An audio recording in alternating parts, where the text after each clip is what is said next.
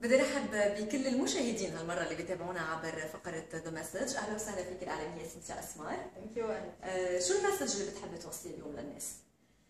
أه بدي بس أطلب من العالم إنه يرجعوا يامنوا بالاعلام بشكل عام، يرجعوا يامنوا بتلفزيون لبنان. اللي هو تلفزيون آه، كل لبناني، هلا مضبوط هو تلفزيون دولي بس هو تلفزيوننا النا مضبوط لنا للشعب للشعب اللبناني.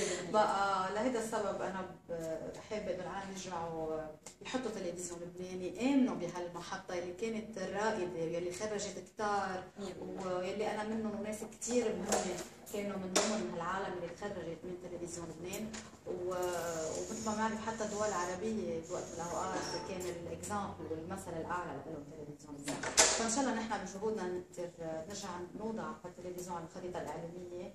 تحدي كبير لنا وبدنا المشاهدين يساعدونا والأكيب العمل الشباب اللي هلأ موجودين بتلفزيون لبنان عم بيكونوا كمان آه، مثل ما بقولوا عم بياخذوا على عاتقهم هيدا الرساله وعم بيكون تحدي كبير. فنحن بالتعاون أكيد مع الموجودين بالتلفزيون آه، عم نجرب نوصل لمكان معين لأنه الإعلام بحاجة لدعم الإعلام بحاجة لتغيير هالصورة السائدة اللي مرقت من كم سنة.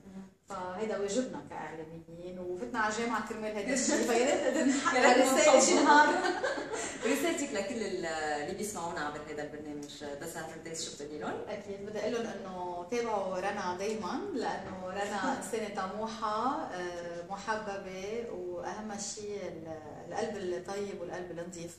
فبدي أوجه تحية لكل اللي بيسمعوكي وانهم يحضروكي عنا على التلفزيون. ما تنسوا رنا خوان انضمت لاسره صباح لبنان. رح تكون موجودة معنا ببلش آه، هذا الأسبوع. ورح تصير الأسبوع الجاي وإن شاء الله تشوفوها أكثر. وبون شانس وبون شانس لبرنامجك على الراديو كمان. ميرسي كثير شكرا لك سنتي اسمر